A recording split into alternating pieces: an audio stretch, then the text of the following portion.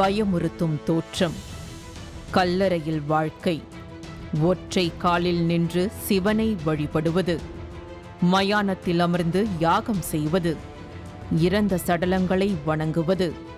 தங்கள் தியானத்தில் சிவனுக்கு பிணத்தின் சதை துண்டுகளையும் மதுவையும் வழங்குவது. சமைக்காத பச்சை இறைச்சியை சாப்பிடுவது. மயானத்தில் பாதி எரிந்து கிடக்கும் இறந்த சடலங்களின் சதைகளை சாப்பிடுவது.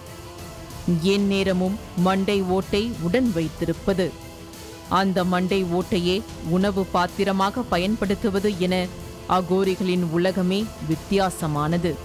மொத்தத்தில் சமூகம் வெறுப்பதை ஆறத்தழுவும் வித்தியாச மனிதர்களே அகோரிகள். அப்படிப்பட்ட அகோரிகள் சமத்துவ மயானத்தில் ஒரு சடலத்தை வைத்து செய்த வீடியோ சமூக வலைதளங்களில் பரவி வருகிறது.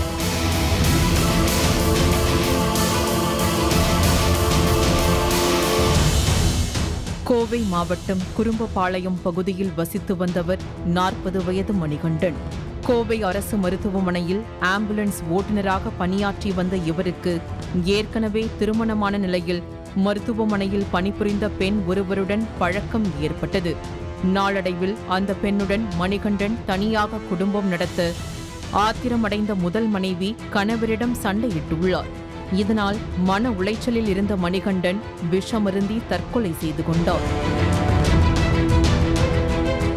இதையடுத்து பிரேத பரிசோதனை முடிந்து மணிகண்டனின் சடலம் உறவினர்களிடம் ஒப்படைக்கப்பட்டது. சடலத்தை தகனம் செய்வதற்காக உறவினர்கள் சூலூர் சமத்துவ எரிவாயு மயானத்திற்கு எடுத்து வந்தனர்.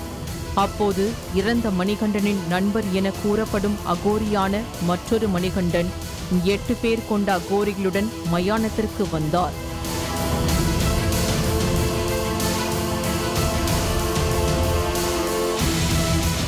அத்தனை அகோரிகளும் உடல் நிறைய திருநீர் பூசிக்கொண்டு உடுக்கையை அடிக்க உறவினர்கள் மணிகண்டனின் சடலத்தை சுற்றி வந்து இறுதி காரியங்கள் செய்தனர்.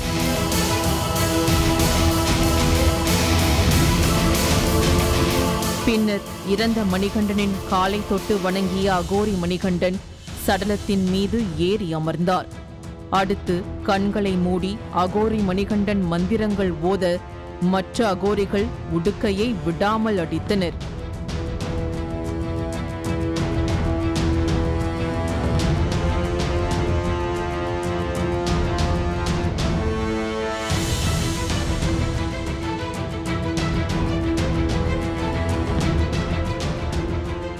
தொடர்ந்து சடலத்தின் மீது மஞ்சள் குங்குமம் திருநீரை கொட்டிய அகோரி மணிகண்டன் கற்பூரம் ஏற்றினார் பின்னர் மது பாட்டிலை உடைத்து அதில் உள்ள மதுவை சடலத்தின் வாயில் ஊற்றினார் அதன் பின்னர் மணிகண்டன் சடலம் எரியூட்டப்பட்டது.